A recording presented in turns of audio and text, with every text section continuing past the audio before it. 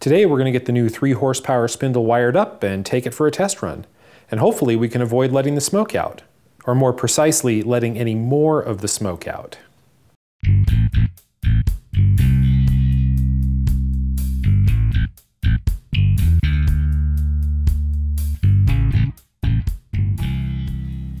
Welcome back to Clough42. I'm James. In my notorious Christmas video, I showed the new 3 horsepower automatic tool changer spindle that I picked up to install on my CNC mill. This video is the first part in a series dedicated to getting that connected, mounted on the mill, and integrated into the CNC controls. The goal for today is to get the Hitachi VFD and all of the supporting electronics safely installed into a cabinet wire it all together, and take the spindle motor for a test run.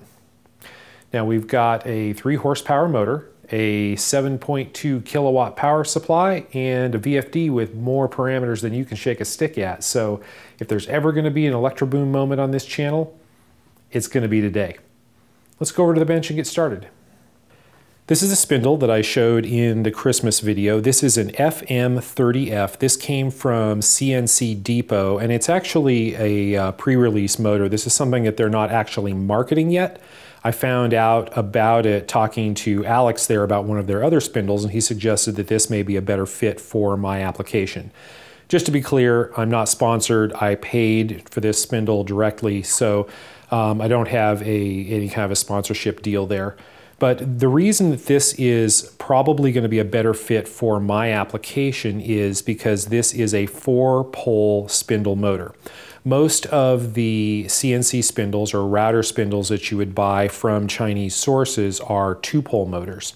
And what that means is that when you feed them in the maximum 400 hertz uh, power that you get from most VFDs, they'll spin at 24,000 RPMs. This one being a four pole motor will spin at half that. It'll spin at only 12,000 RPM with 400 hertz power. And so you don't have as high of a top speed, but the advantage is it should have more torque at lower speeds. So in theory, I should be able to not only use this up around you know 12,000 RPM with small tools in aluminum, I should be able to run this at lower RPMs with probably still small tools in steel. So I should be able to still do CNC milling in steel with this. Time will tell, we'll see. As, I, as you are aware, you know, I don't have this on the machine yet. I can't really make any kind of a recommendation about whether this is a great spindle or not because I haven't used it. Specs look good. I'm hopeful. We're going to go ahead and get this on the machine here ultimately, and we'll all find out together. Now on the back of this spindle are all of the connectors. We have an electrical connector and this has the three phases of the motor plus a safety ground plus two wires for a uh, thermal cutout so that if the motor overheats we have a feedback signal to the VFD so we can trip the VFD and shut it down and not burn up the motor. We also have two uh, quarter inch outside diameter push to connect fittings for air. This one here on the outside edge is for purge air for the case and the one closer to the center is to activate the drawbar. So it's a pneumatic drawbar to release the tool, let go of the pull stud and allow the tool to be uh, extracted and to put a new tool in and grip it. Now the purge air on the case has to do with the way the bearing seals work. On the business end of the spindle, we've got the 30 taper opening here, and we have the, uh, the spindle rotates here, and there's a seal around that bearing to prevent stuff from going in. But since this is a really high speed operating spindle, a rubber seal isn't very effective at high speeds, plus you get friction and heat. So I believe what this actually has is a labyrinth seal which is uh, a couple of pieces of metal with rings that fit together and interlock so that you have a long passage for things to get in or out. But the way this keeps things out and keeps them from getting into the spindle is with compressed air. So there's a supply of compressed air going into the case. It's about two cubic feet per minute at 90 psi, and that is constantly flowing through the case and constantly flowing out through the labyrinth seal at the nose. And so that constant flow of air coming out prevents coolant and chips or grinding dust or you know whatever you're doing with the spindle prevents debris and coolant from getting in and destroying the spindle nose bearings. The bearings in this spindle are steel, hence the top speed of 12,000 RPM. In theory, if you had a high speed inverter that could go above 400 Hertz, you could go faster. They're good to 18,000. They do have ceramic bearings available for these, so you can run them to 24,000, They, especially on the two-pole version of this spindle. But for the four-pole, I'm only going to run it to 12,000, so the steel bearings are going to be sufficient. This spindle came with a cable set. Uh, you can see the connector here. This mates with the top of the spindle. There's a little O-ring seal and this has, of course has the same pin pattern and it came with this already made up cable set. This is actually pretty nice, already pre-terminated. We'll hook all of this stuff up in a minute, but uh, this is something that would be a pain to do because the cable wiring is, you know, pretty heavy in here. The individual conductors are fairly large. And so doing a nice neat job of termination into a nice connector like this is a tedious and complicated task. So I'm glad that came with it. Now before I run this at all, I want to connect the purge air. I do not want to run the spindle without having some kind of air source hooked up because uh, I don't want to risk getting any debris back into the spindle bearings. Now, I don't want to just hook this up to shop air because the shop air comes right off the compressor. It isn't filtered. It could have debris in it. It could have water in it. Uh, I want to run the air to this through a filter and a dryer, or at least a water separator. So when I picked up all of the uh, additional parts to hook this up, I got an air filter.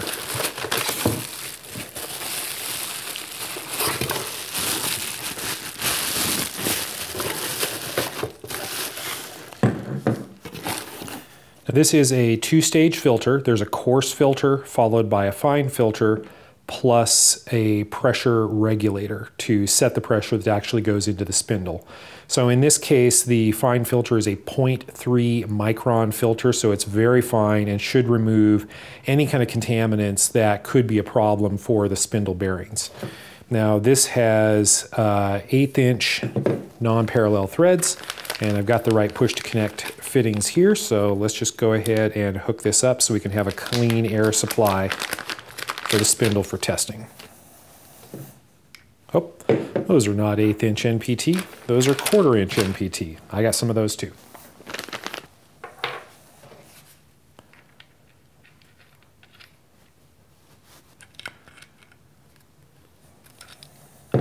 Okay, we'll connect the supply air to this fitting on this side. And the output on this side. And then we'll connect that into the spindle.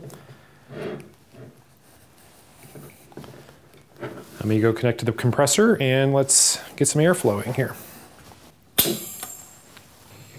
I'll go ahead and dial this up to 90 psi or something like it. Okay, I'm not sure if you can hear that, but we definitely have air coming out through the spindle now. So I think we are about ready. I'll go ahead and shut the air off for now to get out the electronics and uh, get those hooked up. Now when I've set up previous VFDs like the one on the lathe and other electrical boxes like the one for the electronic lead screw, I used a CHKO series Hammond box that um, didn't have a backing panel, which means I just put all the components in the box and built the electronics in there screwed directly to the back. This time I'm using a different kind of a box that actually does have a sub panel. So there's a sheet metal panel that comes with the box or you buy it separately that is separate. You can mount all the components on it so when the screws come through the back, they don't go through the back of the box, they just go through the back of the panel and then the panel mounts on standoffs inside the enclosure. So this is convenient for a number of reasons. One, the screws don't stick out the back of the box, so you don't have to have it out on furring strips. You can actually mount it flush to a surface. But also it allows you to work on the electronics out in the open so they're not buried down inside a box. So I've gone ahead and connected up all of the components that we need for this VFD installation onto this panel. And as you can see, the 12 by 14 inch box that I got is kind of the bare minimum size that would actually fit all of this. So let's take a look at what we have here. So first of all, down here in the corner, we have fuse blocks. I've got two 30 amp fuses and a 2 amp fuse. Now the two 30 amp fuses are for the main power that's coming in for the VFD. This is 220 volts, or in my shop it's 240 volts at 30 amps. So what is that, 7.2 kilowatts is a significant power supply. Even though it's only a 2.2 kilowatt inverter, 3 horsepower, it can, if the voltage level drops or if you get into overload conditions, it can actually draw more power than that. So it requires 30 amp service to the input side of the VFD. So I've got a 220 or 240 volt, uh, 30 amp service here in the shop to run this on. And so I'm running the two hot wires through 30 amp fuses, and then those go up to a contactor. And this contactor is to turn that power on and off. We feed out the other side of the contactor to this noise filter. And this is a 30 amp uh, RFI noise filter designed specifically for this application. It's a two-stage uh, noise filter with uh, inductors and capacitors in it to filter radio frequency noise and prevent that from getting out of the inverter and back into the power supply. So then after we come through that, that power then feeds down and goes to the input phases on the inverter. So that's the main power circuit for the inverter.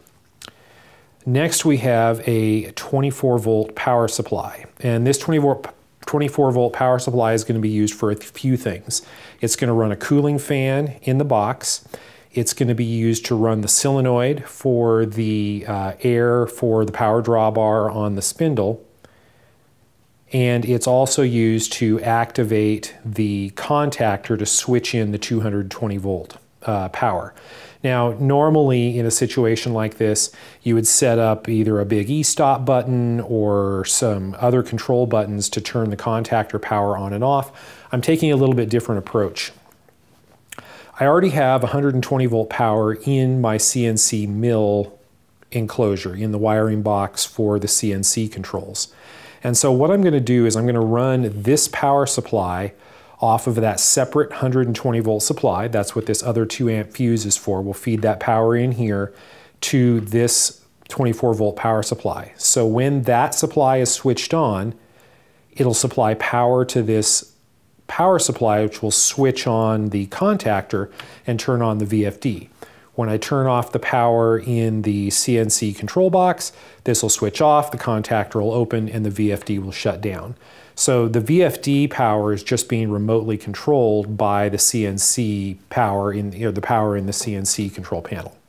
So I've got the, the 48 volts here, and then that's wired down to some screw terminals down here just for power distribution to hook up the fan and the other uh, components that are going to be in here. Let's uh, get this installed into the box and get it wired up. This is the box that I'm using. This is uh, a little nicer than the CHKO series enclosures that I typically use. It's got a nice textured powder coat. The reason I got the more expensive box is because it, I needed something that was deeper to fit the Hitachi VFD that I'm using. Uh, this is actually 8 inches deep as opposed to the CHKO boxes I usually use, which are um, only 6 inches deep and are a quarter of the price. This is about $100 for a box this size, and uh, but I, as I said, I've been really impressed with it. Really nice powder coat finish. This is actually made in the USA, actually made by the Union. There's the Smart Union logo in here. Now I've gone ahead and made the modifications that I needed to the box. You can see I've cut a hole here and put in a fan grill. That's the exit air. The VFD, air will come out of the VFD, it'll come out here. It's going to come in the bottom. I've got another fan grill on the outside here and the fan mounted on the inside. This is a 90 millimeter um, uh, 24 volt fan. Got the wires pre-terminated with ferrules on them all ready to go. Now I've got power feeding in. This is the 220 volt power that feeds in down in this corner. And building a cord set for 220 is complicated, so I cheated. I actually just bought off of Amazon a 30 amp twist lock 220 volt uh, power extension cord um, because I was going to have to go source the SOOW uh, rubber wire and I was going to have to source the connectors. And by the time I got you know all that figured out um, and looked at the price, it was cheaper just to buy the cord set. So I just bought one cut it off to length and mounted it here in the enclosure. So this will go in the wall after everything's connected here. Um, and uh, then and that'll provide the 220 volt power input. For the 110 volt power that's coming over from the CNC control panel to power this up and run the contactor, I've just got an ordinary line cord. This was just an IEC computer line cord. I just cut it off, ran it through a, uh, a grommet or ran it through a, a cable gland, and I've got that terminated and ready to go. And then for control wiring, I've actually already mounted the connectors in the side of the box here. And I've got a couple. Um, the VFD actually uses an RJ45 connector for the remote control. And so I've just got a pass-through bulkhead connector for RJ45 to pass that through the case. And then I've got two circular polarized connectors that I will use for data. One of these is going to go out to the foot pedal and and the power signal wires to run the um, the valve for the uh, automatic tool changer, and then the other one is going to connect over for control to the CNC panel. And so that'll provide control of the VFD remotely through Mach 3 or Mach 4 if I ever upgrade, and also provide e-stop signals and trip signals back and forth so that the CNC machine can trip if the VFD trips, or if I hit the e-stop on the CNC machine, it can stop the spindle as well. And I haven't populated any of the pins in here because they're crimp pins, and I don't want to actually crimp and use up uh, those pins until I'm actually ready and know how long the cables are going to be. So for today, anything we hook up, we'll just hook up inside the case.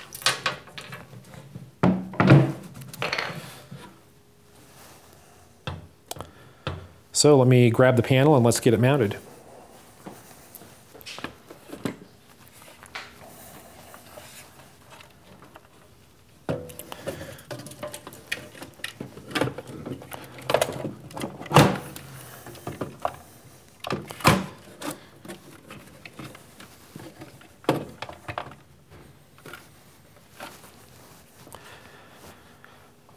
Now, I have to say, I have purchased a lot of tools recently, and I got a lot of tools here in the shop, but this was an unexpected pleasure. This is a little craftsman screwdriver that I picked up at my local Ace hardware store. And, you know, I've, you know, I believe that Craftsman was a good name back in the day and they made some good tools. And then there kind of came a time when, yeah, maybe they weren't as good as they used to be, but you could still walk into a Sears and get them replaced if anything happened.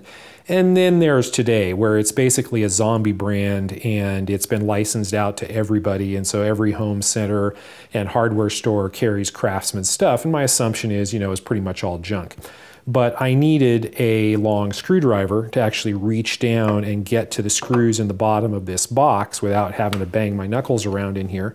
So I was in an Ace Hardware and found this, and it's a Craftsman screwdriver. It's like an 8 or 10 inch long shaft, Phillips. And I was really surprised. It's actually made in the USA. And I'm also really surprised with the tip on this thing. It grips the screws really well. Yeah, maybe it won't last, I don't know, but it just made me happy to find a little made in the USA tool in my local hardware store that actually works. And uh, yeah, I know it's just a screwdriver, but it made me happy.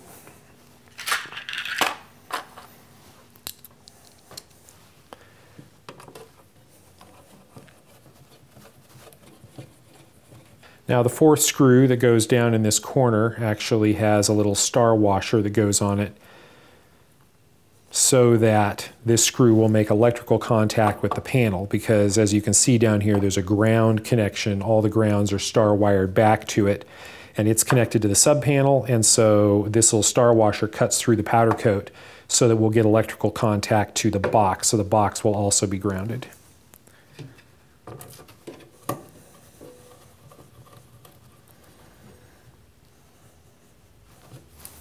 And now we just hook everything up.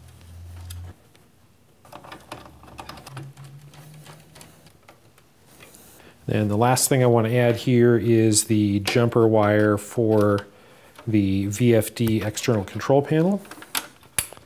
Plug that in there. And then take that down to the bulkhead connector. Uh, last is the cable for the uh, spindle motor itself. And I've just got this through a uh, cable gland.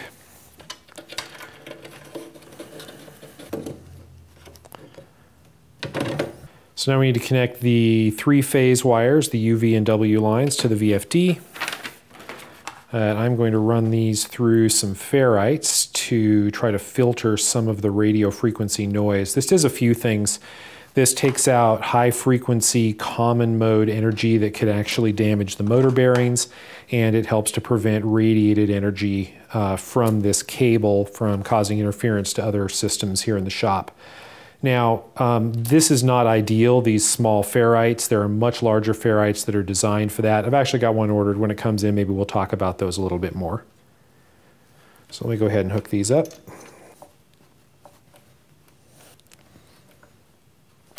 Okay, those are the phases. The last are the thermal switch.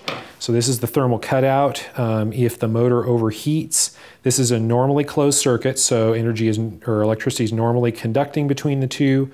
And if the motor overheats, this will open up and we want to connect that to the VFD so it will know that's happened and can cut the power. So I'm going to connect one side of this to the L, which is the negative terminal, and the other side I'm going to set to input number three, and then we'll program the VFD to know that input number three is uh, e-stop, so it'll automatically cut the motor power if that opens up.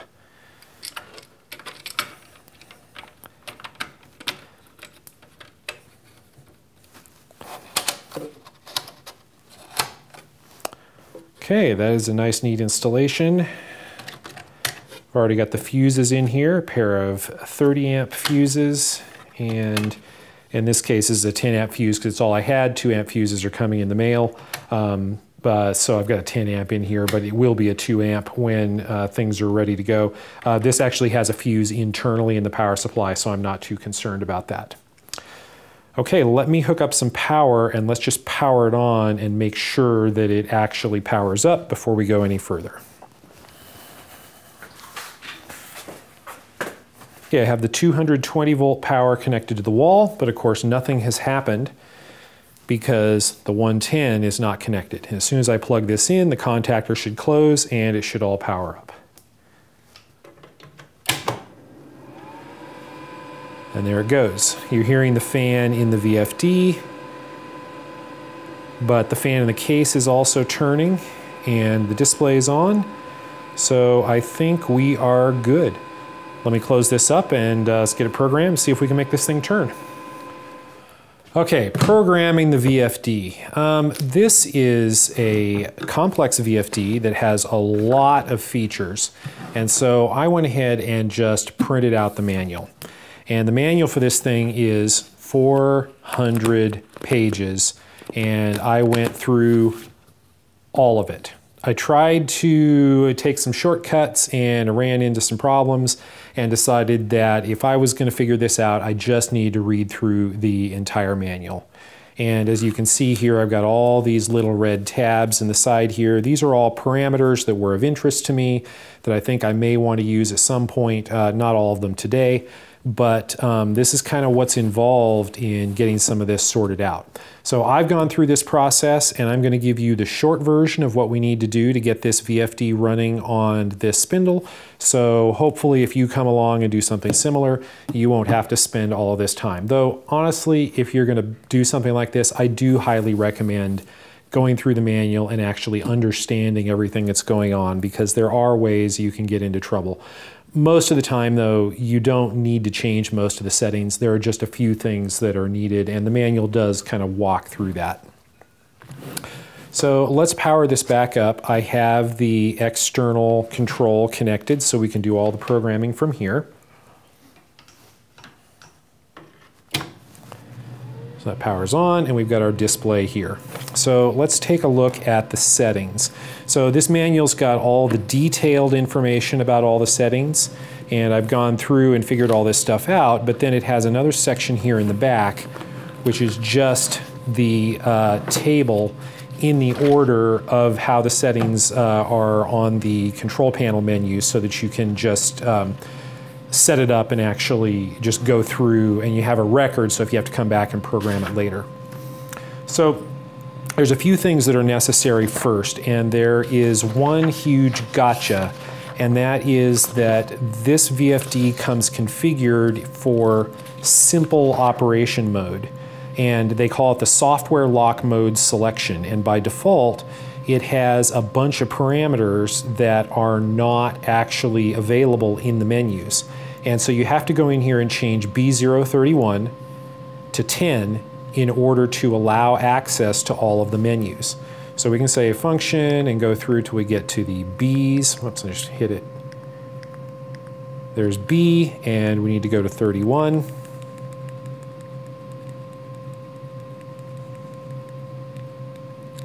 Thirty-one, set that, and it is set to one. Is that right? B031 is currently set to one and I want to set that to 10. So hit that, set it to 10, set. Okay, so now B031 is now set to 10. So now we actually have access to change all of the other settings in the VFD.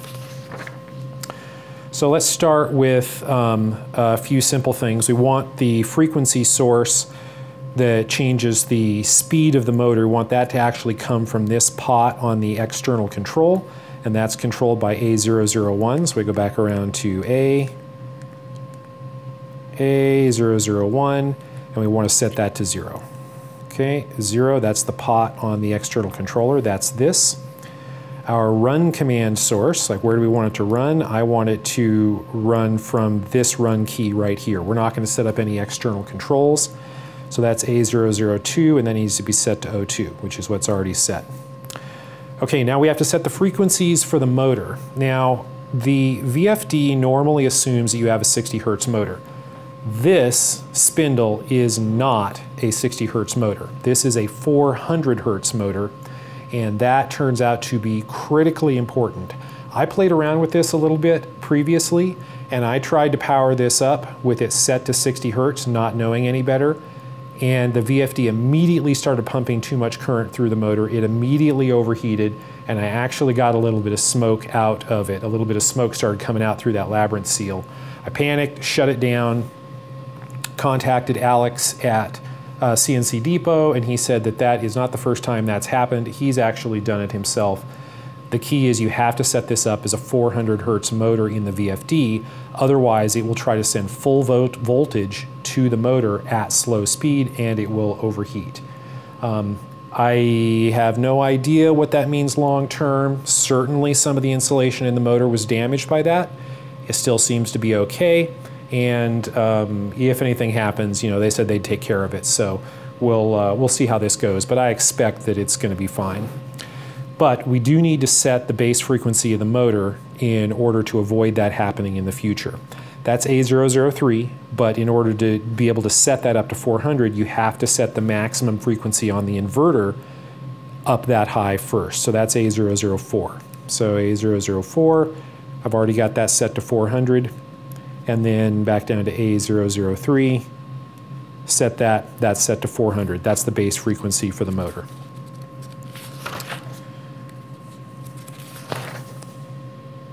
Okay, we also need to set the voltage select for the motor. The AVR, the automatic voltage select, we need to set that to 220.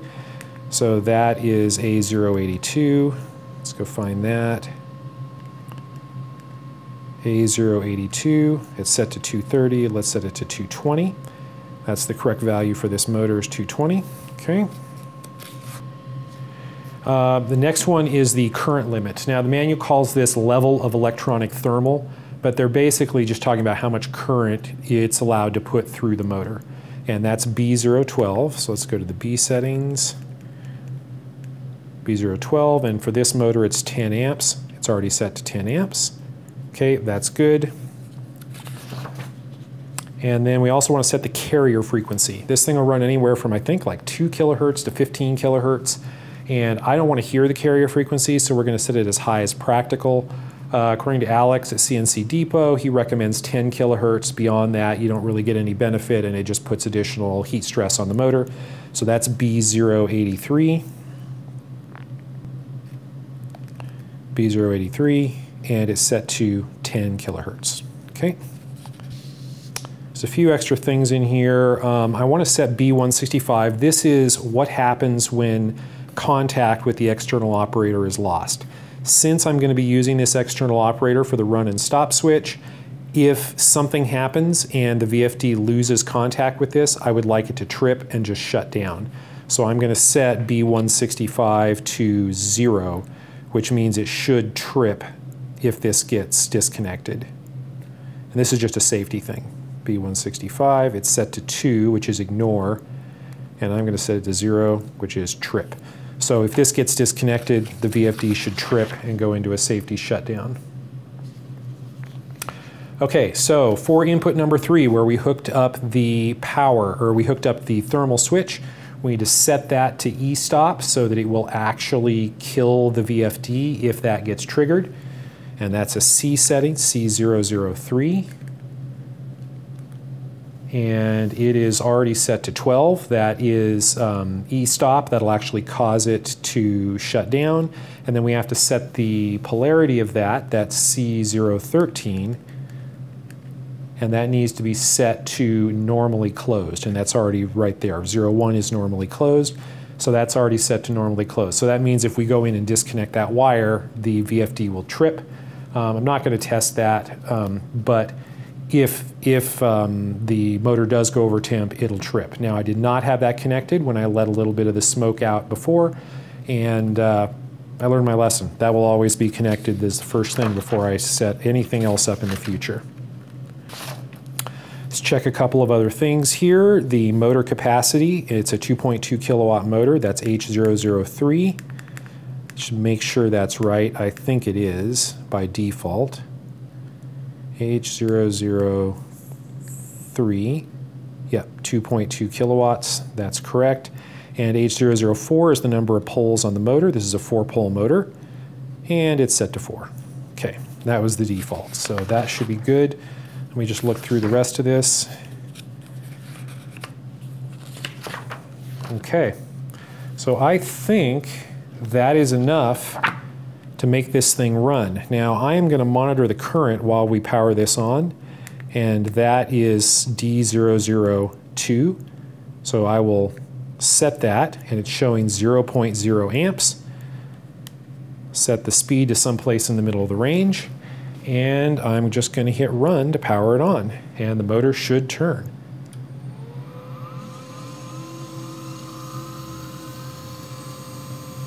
And there it goes. And then this should control the speed. Slow it down and speed it up.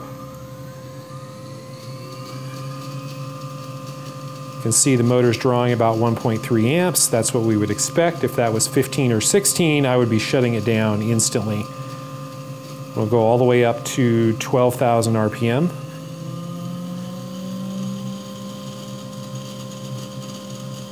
And that sounds pretty good. I'm hearing a little bit in the bearings, and uh, my understanding is that that's normal because they have not run in yet. And over time, as you get some hours on the spindle, those will quiet down. And it's also very cold here in the shop, and if this runs for a little bit and warms up, they should quiet down as well.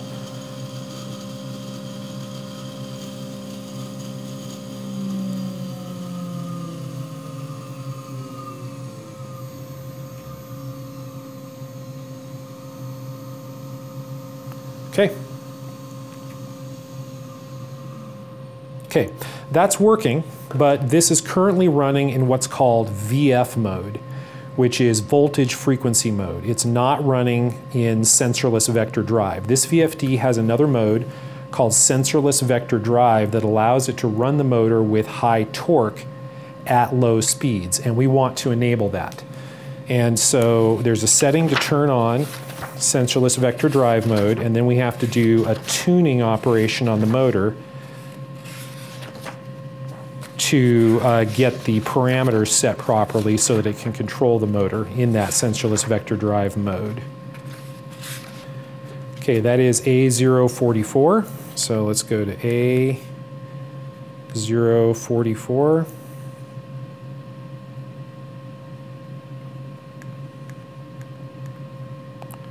Select that. It's currently set to 0, which is constant torque VF mode, and I want to set it to 3, which is sensorless vector drive. Okay, so that's set to 3. Now that we have that set, we need to do the motor tuning operation. Now, there is a gotcha with this motor and this is something that Alex let me know before I did this, is that you want to set the base frequency of the motor to 300 hertz for the auto tuning. For whatever reason, this motor responds better to the auto tuning when it's set to 300 hertz, so we'll go change that. That's A003, and then we'll set it back after we've tuned it. A003, and we'll set this to uh, 300. Now I don't want to cursor down 100 or 1,000 times, so if you press 1 and 2 up and down at the same time, then it goes into a mode where you can edit one digit at a time. Okay, so that's set to 300. And now let's follow the tuning procedure. Okay, so we've already set H003, the motor size and motor poles. We've set the base frequency and the AVR voltage. Now we need to enable auto tuning, and that is H001 and we need to set that to 2, which will be tuning with motor rotation. And then all you do is just hit the run switch and the motor will tune, it'll do its tuning, and then it'll display the result, either a zero if it's completed with some underscores or uh, some little lines with an angle, and we'll see what happens. So run. So I can hear it pulsing different amounts of power through the motor, and presumably it's measuring the electrical characteristics.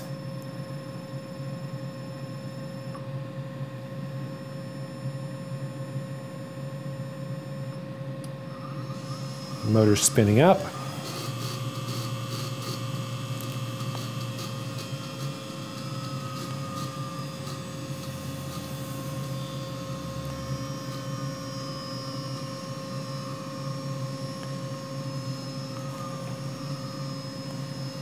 I'm gonna go turn the air on. I forgot to do that.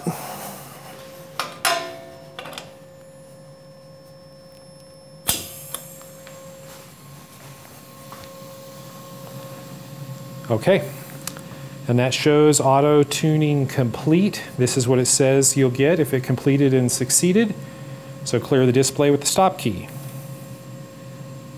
Okay, and then activate the new motor constants by setting H002 to 2. Let's do it.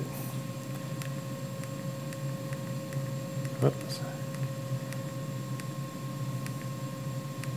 H002, set that to 2. Okay, let me just go back and make sure that H001 automatically reset. It did. Okay, and that should be it. We should be set in sensorless vector drive mode. Let's uh, go ahead and spin this thing up in that mode and see if it sounds any different. Just make sure, oh, wait, got to change the frequency back. Change this back to 400 hertz.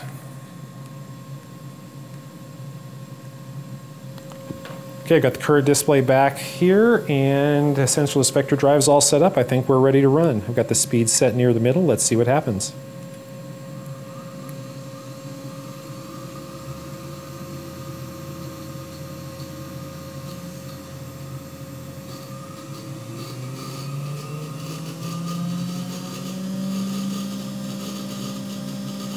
It's 12,000 RPM.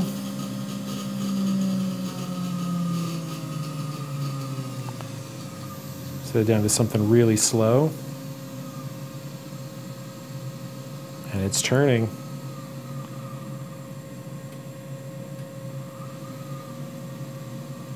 Should be able to run this thing really, really slow.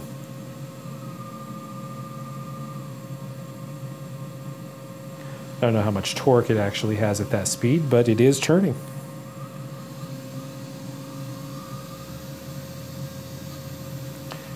And the current looks good. Well, I think that is all we're going to get to for today. It is really cold out here in the shop, and if you can't hear it in my voice, I'm actually shivering a little bit. This is what happens when you lose a bunch of weight, I guess. Uh, the next thing we need to do is configure the valve for the automatic tool changer, and I want to wire that into the VFD and set up uh, what's called an interlock circuit to prevent the tool changer from being released while the VFD is spinning and we will work on that next time. If you enjoyed this video, please give me a thumbs up. Feel free to subscribe to the channel and leave me a comment. If you have specific things you'd like me to cover in detail on this project, let me know and I'll see what I can do. Thank you for watching.